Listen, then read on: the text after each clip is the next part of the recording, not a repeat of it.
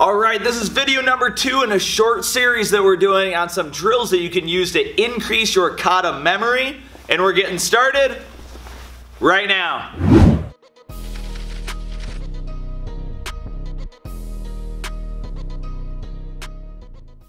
What's happening martial arts friends? My name is Nick. Welcome to another video. As far as that intro is concerned, that was just me playing around, having a little bit of fun. We just switched our video editing software over to a program called Adobe Premiere Pro. And not only is this program amazing, it's a monster, it's also doing a fantastic job of reminding me how very little I know about video editing. So if anybody out there has some awesome tips or videos that you think I should watch, toss them in the comment section below. I'm always looking to learn. But with that, let's go ahead and switch over to the thing that I actually know what I'm talking about with and get started with this kata drill. All right, so like I mentioned in the intro, this is actually video number two in a short series that we're doing on some drills that'll help you with your kata memory. So if you haven't checked out the first video, it has an awesome drill that'll really help you with your memory and it'll also get you really tired. So I'll put a link up in the corner and then I'll toss a link down in the description box as well so you can check that out after this video. But this drill that we're going over today is what we call the kata relay and it's one that's really extremely awesome for the kids classes but if you want to torture your, I mean train your adults with it as well, uh, it works great for both.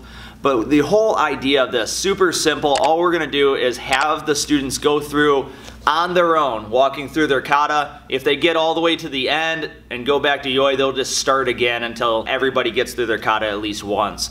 But anytime during their kata, you can just say run or go, and what you'll have is a certain activity that you've chosen beforehand. So sometimes we'll do push-ups, sometimes we'll do burpees, Sometimes we'll run down and hit the bag a couple times with a certain technique. Actually, yesterday we did this drill in our classes and we had everybody do kata with their gloves on. And when we said go, they went against their partner and just sparred for a couple seconds and then had to go back into their kata. So the whole idea is they have to remember where they were. So if we're doing push-ups and they're going through Nidan, just like this, and you say go, they have to run down or just drop, do five push-ups, and then get right back to where they were and continue with their kata with good speed, good power, good technique, and everything like that. So it's a really awesome way to just get them to step away from their kata for a second and then bring them back into it. It's also a great drill for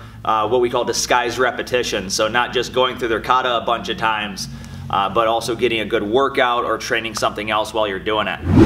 Alright, so as always, I love to connect with all of you down in the comment section. So if you have any questions, any video requests, or any drills that you like to do that help with kata memory, drop them down there. It's always fun to just connect and see what everybody else has.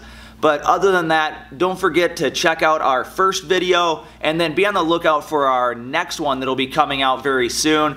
Just make sure you get updated by clicking subscribe and then that bell icon so you'll get a notification when we put out a new video. But thank you so much for watching. Have a great time training and we'll see you in the next video. All right, peace.